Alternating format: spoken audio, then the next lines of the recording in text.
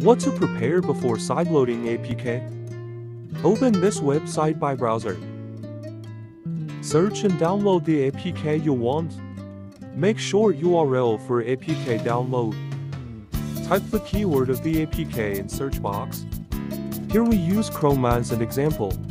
There are other common APK for TV such as Zoom, Teams, Meet, Game Pass. Click this button. Click this button. Choose APK but not bundle version. Choose V7A or Universal. Click this button. Click this button.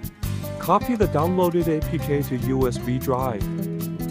If using MITV stick or Google TV without USB port, copy the download link.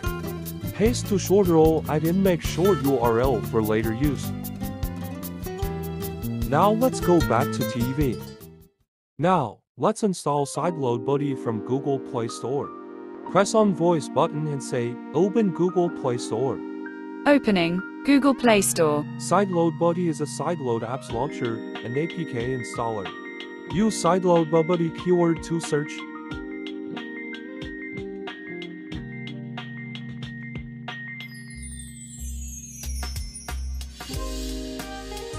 Add app to favorite first. Open app and grant storage permission. The three dots is the option menu. Press menu button or D-pad up and OK. Select the install APK from USB. Now insert the USB disk to box or TV. Wait until it's ready. Usually the second one is the USB disk.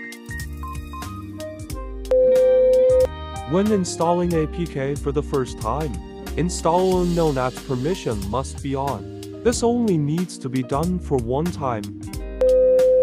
Install Chrome APK.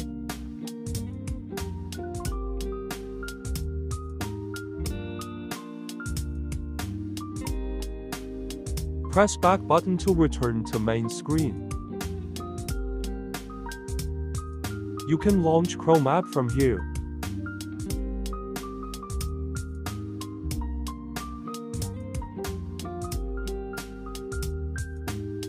When you want to use it again, open Sideload Buddy.